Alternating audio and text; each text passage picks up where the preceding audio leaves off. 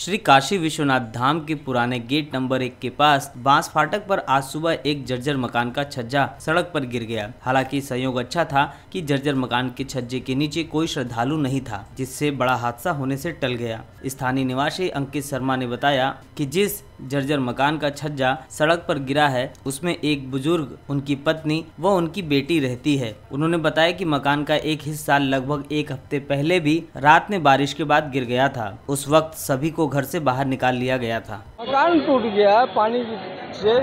कैसे टूटा? जर्जर मकान तो अपने आप गिर गया। एक हफ़्ते पहले गिरा हुआ था आज पूरा गिरा है अभी। तो कितना भीड़ भाड़ था किस तरीके से? बड़ा कुछ नहीं हुआ। महादेव की कृपा महादेव की थी कि लाइन बहुत ज़्यादा भीड़ था लेकिन अभी गिरा तो एकदम लाइन क्लियर था। कोई भीड़ नहीं था।